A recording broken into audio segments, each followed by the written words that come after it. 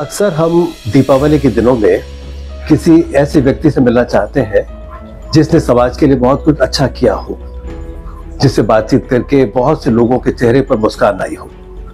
और किसी शायर ने क्या खूबसूरत कहा है कि प्यार का जश्न, प्यार का जश्न नई तरह मनाना होगा। गम किसी दिल में सही, गम को मिटाना होगा। आज हर घर का दिया हमको जलाना होगा। हमको हंसना है तो औरों को हंसाना होगा। एक ऐसे ही व्यक्ति से आज हम आपकी मुलाकात करवाने जा रहे हैं। Narendra ji industry area phase two में आपका अपनी इंडस्ट्री है और जो भी आपके पास आता है बहुत शांत होता है बहुत आपसे कुछ सीख कर जाता है और अपने मन को बहुत शांति प्रदान करके जाता है। आप दिवाली के उपलक्ष्य में हमें कुछ संदेश दीजिए। सबसे पहले मैं आपका धन्यवाद कर रहा हूँ।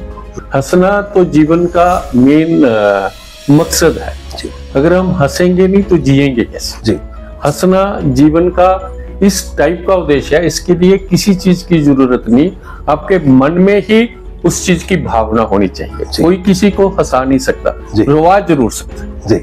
इसलिए जो जैसे अब जो है हमारा जो समय चल रहा है ये त्योहारों का समय चल रहा है हमारे हिंदुस्तान में जो हिंदुस्तान की विशेषता ही त्योहारों की है। जी। ये जो हिंदुस्तान है हिंदुस्तान में त्योहार की वजह से ये हिंदुस्तान है जो। हर घर घर में इसका संदेश जा रहा है। जी। किसी भी प्रकार के त्योहार है हिंदुस्तान से ज़्यादा त्योहार किसी भी देश में ना मनाए जाते हैं ना होते। जी। तो त्योहार मीन्स खुशी। जी। खुशियाँ बांटने से ही खुशी आएँगी। पहले हमें सबसे ज़्यादा ज़रूरी ये है कि हम खुशियाँ बांटें। जी। जिस चीज़ की हम फ़सल लगाएँगे वही हमारी उपज होगी। जी। तो इस मौसम में एक तो मौसम इतना सुहावना होता है जी। ना गर्मी ना सर्दी। जी। तो इसकी विशेषता ही ये है। बाकी हमारा सनातन धर्म ये मानता है कि हमारे रामचंद्र जी जिन्होंने ये सृष्टि की रचयिता है एक युग उनके पूरे नाम था। जी। उन्होंने हर चीज़ मर्यादा में रहकर जी। हर चीज़ के ऊपर कामयाबी हासिल की। जी। उनकी खुशी के बल्कि उनकी जितनी खुशियाँ थी उन्होंने गम रहकर सबको खुशियाँ बांटी। जी। चाहे वो भाई की सहायता थी भाई का प्यार था दुश्मन के ऊपर विजय थी। तो ये सभी चीज़ों का संदेश है हमारी दीपावली। इसको किस तरीके से हम सेलिब्रेट कर सकते हैं ये अपनी अलग अलग का अनुभव है। जी।